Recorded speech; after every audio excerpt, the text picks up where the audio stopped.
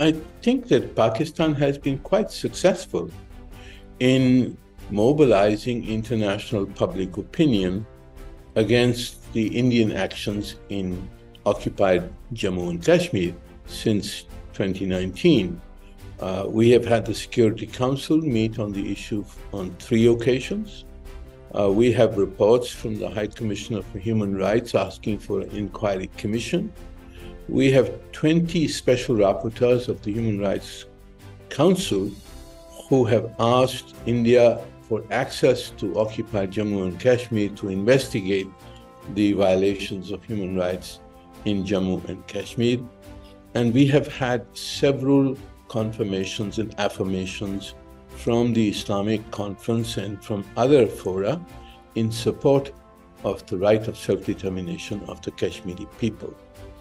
Uh, as far as India is concerned, uh, it is not relying on any rule of law or, or any precept of justice in trying to impose its rule in Jammu and Kashmir.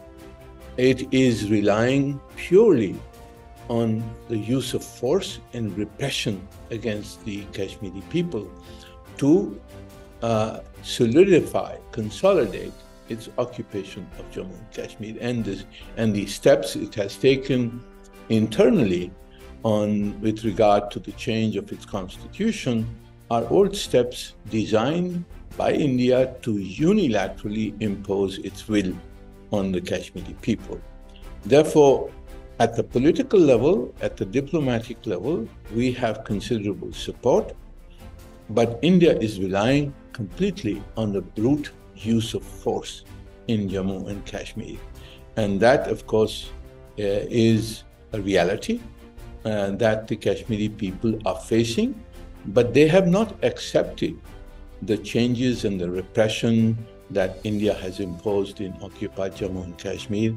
And our stance, the stance of Pakistan and the OIC and the international community on the issue of Jammu and Kashmir has not changed. The UN Secretary General is committed to the statement which he made on the 8th of August in 2019, which says that the Jammu and Kashmir issue has to be resolved in accordance with the UN Charter, the UN Security Council resolutions, and bilateral agreements. That is also Pakistan's position, and therefore we think we have we have international support. The question only is India is using brute force, uh, and that is something that is a reality, and we have to face that. There, well, you know, two two points. First of all, countries will promote their bilateral relations in their own national interests. So they have trade interests in India and so on and so on. And they, they will obviously promote those interests. We, I, I think it would be unreasonable for, for us to say don't do that. On the other hand, these countries also continue to support our principal position on Jammu and Kashmir in repeated resolutions of the OIC. Uh, and they, they continue to support our position with regard to Jammu and Kashmir. The question is obviously, what more can we ask them to do? Uh, and there, of course, it's an issue of diplomacy, it's an issue of what actions we ourselves are taking and what is happening in the ground in Jammu and Kashmir.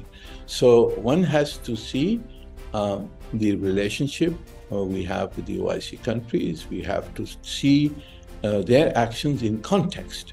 And in the context of the international realities, I think uh, what they are doing, what they have extended their support and continue to extend their support to us, that is a positive uh, step and a positive action that we must appreciate.